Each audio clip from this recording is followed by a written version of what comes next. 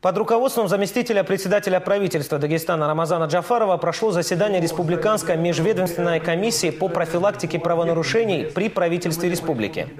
В целом хочу сказать, что республиканская программа по профилактике правонарушений и противодействию преступности, несмотря на все проблемы, реализовывается в целом успешно. И правоохранительные органы, и органы местной исполнительной власти с поставленными задачами согласно этой программы справляются.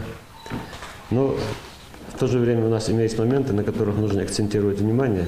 Поэтому вот такие вопросы проблемные сегодня вынесены в повестку дня. Члены комиссии рассмотрели вопросы соответствия условий содержания граждан в местах принудительного содержания. В республике функционирует 39 изоляторов, а также два специальных приемника для содержания лиц, подвергнутых административному аресту.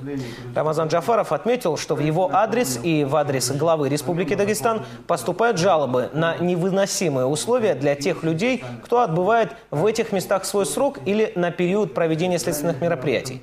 Цитата. «Комиссия образована для того, чтобы обсуждать и решать имеющиеся проблемы, пояснил Рамазан Джафаров. Рекомендовав МВД по Республике Дагестан и Управлению Федеральной службы исполнения наказания России по Республике Дагестан принять безотлагательные меры по обеспечению условий содержания задержанных в соответствии с действующим законодательством.